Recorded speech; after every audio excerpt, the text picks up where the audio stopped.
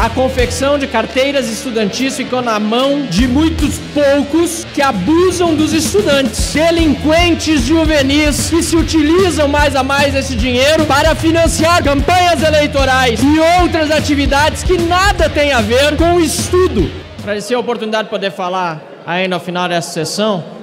principalmente para lamentar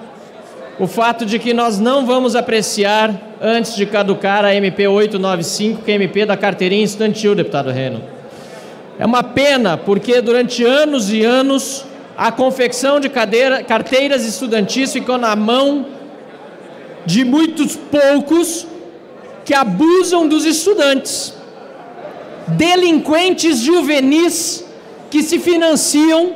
seja pela Uni, seja por DCEs e diretórios acadêmicos afora, com poucas e raras exceções, por meio do dinheiro dos estudantes pobres, cobrando preços altíssimos por uma carteirinha que deveria ser de direito para todos aqueles que precisam utilizar, por exemplo, o transporte para ir para a universidade, um direito, sim, que tem preço, por meio da confecção da carteira mas um preço irrisório pelo custo do plástico em que ela é impressa ou pela internet, como proposto pelo governo, que é ainda muito melhor. E não o valor absurdo que muitas vezes é cobrado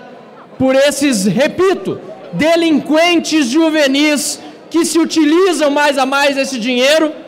para financiar partidos políticas, políticos, campanhas eleitorais e outras atividades que nada têm a ver com o estudo, com o ensino ou com o bem do estudante que essas entidades deveriam representar. E gostaria de aproveitar este momento para elogiar o meu colega, deputado Vinícius Poit, por ter também apresentado um projeto que acaba com a hipocrisia da meia entrada, porque a meia entrada que foi criada não é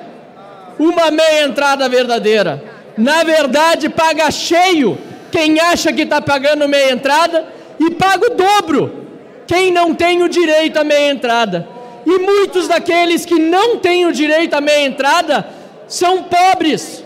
são jovens pobres que não se encaixam nos critérios definidos pela lei da meia entrada. Portanto, certíssimo o deputado Vinícius Poit ao propor a revogação desta lei e uma pena que este Congresso está deixando passar a oportunidade de votar a MP 895 nesta semana, pois ela caduca no domingo. Pior, nem se instalou a comissão especial. E esperamos que seja reeditada essa medida provisória, que o projeto do deputado Vinícius Poit seja aprovado e que esta delinquência juvenil institucionalizada e financiada por meio das carteiras estudantis tenha fim no nosso país. Muito obrigado, senhor presidente.